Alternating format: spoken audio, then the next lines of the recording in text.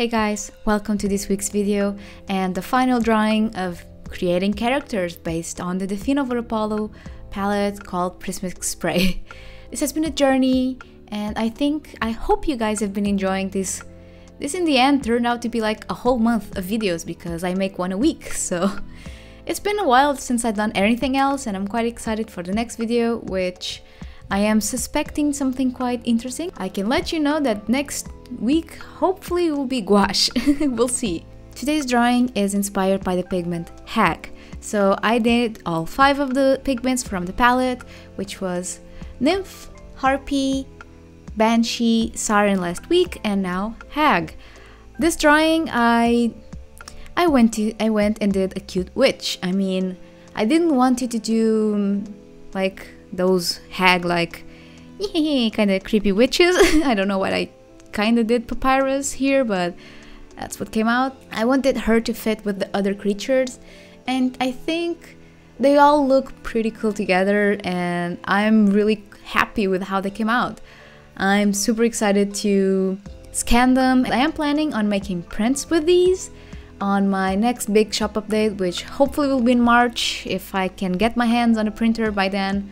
It's been a struggle guys, printers are expensive and I really wanted to make a smart choice for my next printer because I feel like it's time for the step up on my printing game but at the same time it's quite an investment so I have to choose carefully and maybe try and save up a bit more.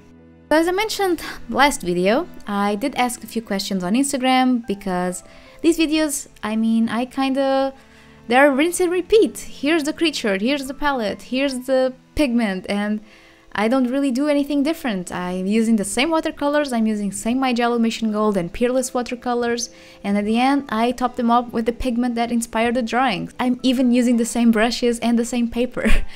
so I don't have a lot to say. So I did ask on Instagram a few questions and a friend of mine asked me for my favorite mangas and animes and I decided to try and really think about this and try and make a list because I'm the type of person that when you ask your favorite song, I don't have an answer. I'm terrible at choosing favorite things. I really tried my best. I did a bunch of writing. I wrote down a bunch of animes that I really loved and I came up with three categories on anime and one on manga, starting with my top 5 nostalgia anime. First we have Cardcaptor, then Kobato, then Full Moon, then Kamisama Hajimemashite, and Romeo and Juliet. Talking a little bit about these, I'm pretty sure most of you will know Cardcaptor, and Kobato is from the same studio who did Cardcaptor, is from Clamp. Then we have Full Moon, which is the story of a girl who has a tumor on her throat and she wishes to be able to sing, and then the death gods help her do that. And it's a very moving story uh, it's one of my favorites of all time, and the songs are just. Some of them make me cry every single time. we have Kamisama Hajimemashite. This one's the story of Nanami and Tomoe. It's based on her becoming like a North god, and then Tomoe becomes her familiar, and I really love this story. It's super cool. I, I totally recommend. I also really love the manga. And lastly, we have Romeo x Juliet. This one's a bit of. I've heard lots of people letting me know that they really don't like this anime. And honestly, me, whenever I try and go back and watch it, there are a few parts that I'm like a bit bored. but it has such a nostalgic value to me. And I remember watching it and being like, wow, that it deserves a place in this list because it's just so so good. Another one that I really wanted to put here, so it's a little bit of a cheat, it's Princess Tutu. I just did fan art of her on my Instagram and that anime just really hits in the feels to me.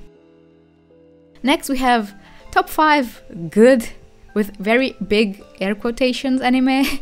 I really didn't know what to call this. It's just anime that I really really love and has made an impact, but I wouldn't call it nostalgia. First one is Black Butler. It's the story of Sebastian and Chiel, and I love all the arcs and I'm still reading the manga to this day. It's still going, believe it or not, and it's just one of my faves. Next we have Kyokai no Kanata. It's so good. This anime is so good. I love this one and I've rewatched it many, many times. Next, we have Yuri on Ice. Yuri on Ice was a big part of me watching anime when it was out. I was so crazy about it, so excited. Definitely had to put it up here. Uh, let me know who's your favorite character in Yuri on Ice because it's just so good. Next, we have Boku no Hero. Boku no Hero is, for me, it's really good. I really like the characters. My favorite is Bakugo. Uh, I have a friend that's obsessed with Iida, and last but not least is Noragami. Noragami is the story of uh, Yato, I think that's the name. Um, and he's a god that no no one really cares about and that's kind of the story around him so this is kind of my favorite like good anime ones then we have one that there are kind of new to me and some that are really new and I just did not knew what to call it so it's new anime and first one is Demon Slayer then Skater then Jujutsu no Kaisen then Violet Evergarden and then Given so the only two that are not really new to me are Violet Evergarden and Given, but those animes really had an impact on me when I saw them. They were so good. And Demon Slayer is not really new, but I only watched it like maybe last month and I was hooked. Inosuke is so, so cute. I love him. And Skater, I'm watching it with my friends, is so cool. Jujutsu no Kaisen is awesome as well. Violet Evergarden, pulls at my heartstrings every single time and it's so beautiful. And given honestly it's so good. If you like bl definitely give it a watch. The manga is also really good. And the voice of the main character which is there like in a band kills me every single time. It's so good. Then we have my final top which is manga this was also super really hard for me because I tend to go back and forth. For example, my favorite anime might be also in a manga, and so it's a bit difficult. So I did my best, and for this one, my top manga was Love is Hard for an Otaku, which I'm actually rewatching with my friends right now, and it's been so fun. Irunaka no Ryusei, one of my faves. Then Horimiya, then Akagami no Shirayuki, and then quite of a twist for like shojo manga. Matk. Matk is basically one of my favorite mangas of all freaking time, and I love it. so this was my very ranty, very, very ranty talk about anime manga. I'm really not good at choosing favorites, so I really hope I did my I hope I did my best choosing ones and I most definitely most definitely forgot some that I really love. So if you have for example, let me know your top 5s of anime or manga on the comments down below because I would love to know.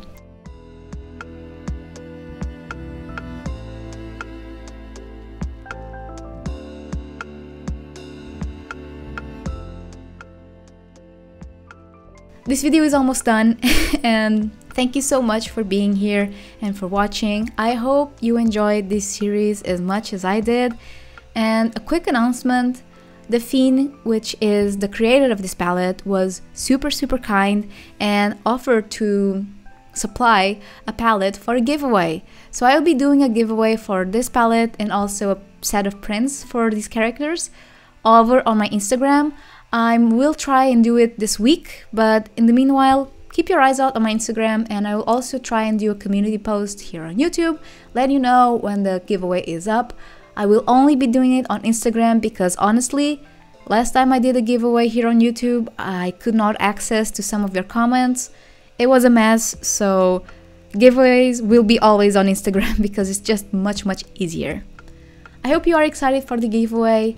Thank you so much for watching again and for accompanying me in this little journey and let's move on to other content because I'm kind of looking forward to, to filming something else that's not this. and I hope I didn't bore you too much with like a full month of just this type of content. So thanks again for watching and for being here. Don't forget to subscribe, like, leave a comment down below. Let me know which was your favorite character and your top 5 anime or manga. Or if you don't watch, which of these would you most likely want to read or watch? Thank you so much again, and I'll see you in my next video. Bye guys!